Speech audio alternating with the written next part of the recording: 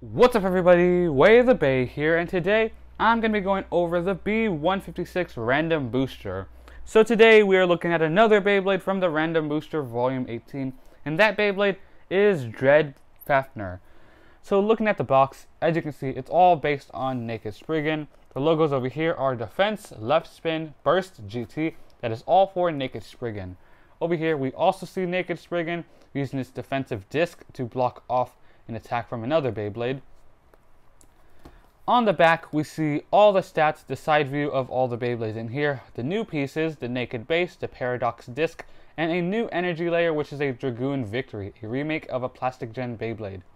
The Paradox Disc has the ability to flip its sides and have two different modes, and today, Dread Fafnir has the Paradox Disc, so if you weren't able to get it from the Naked Spriggan Beyblade, you are able to get it from Dread Fafnir.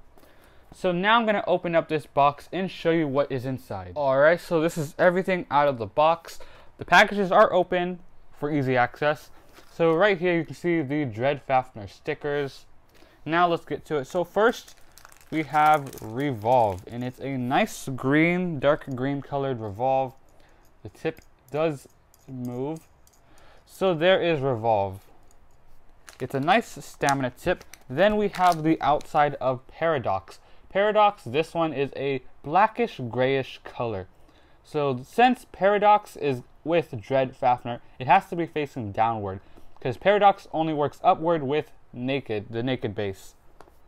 So then we have the core of Paradox, and Paradox only works with this core. So let's put it on. Oh, it is a lot harder. Oh, it was supposed to go downward. There we go. So Paradox altogether, it is a nice gray color with a green revolve. So let's get to the base. So we have Dread Fafnir with Metsu. So let's take it apart and I'll show you its teeth. So here are Fafnir's teeth.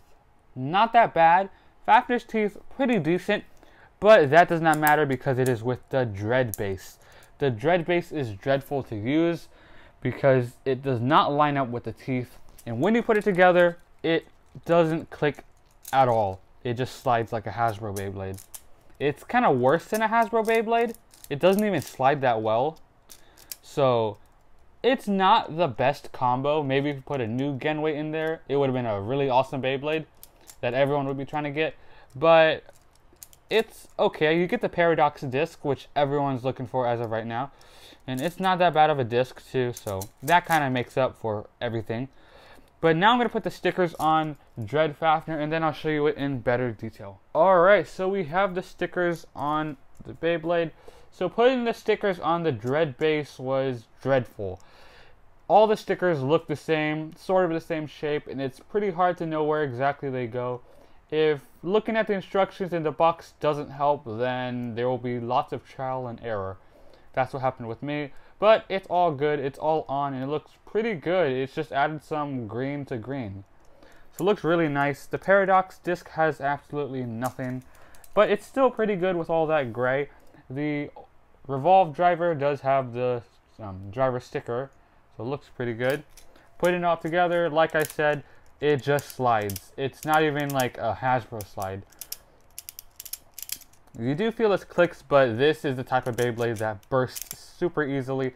But enough talk about how horrible its teeth is. Let's do some test battles. Alright, so instead of doing test launches and test battles like we would normally do, here are a whole bunch of clips of the exploding Beyblade Dread Fafnir. Three, two, one,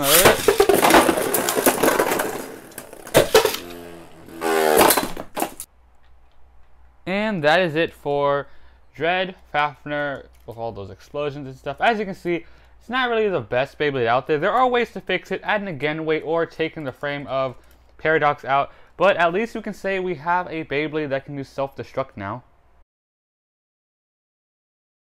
Dread Fafnir, you self-destruct. It was super effective.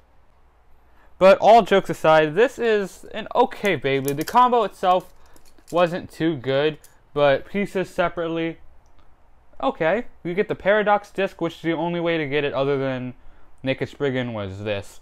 So there's only two recolors out there, and gray was actually for me looks almost as nice as the turquoise one. The turquoise one was really nice. This one's pretty good too. Revolve, Revolve's not that bad of a driver. There has been a lot of recolors out there, but this whole green Beyblade looks pretty good. Dread, it's a nice green color of Dread.